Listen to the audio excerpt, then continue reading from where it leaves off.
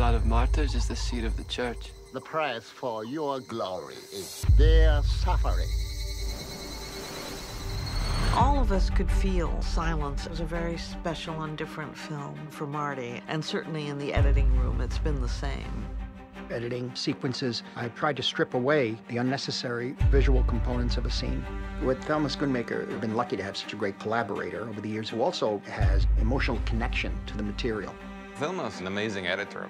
She knows Marty so well and knows his taste, and she's very sensitive about the way the material feels. Don't move. Someone's here watching us.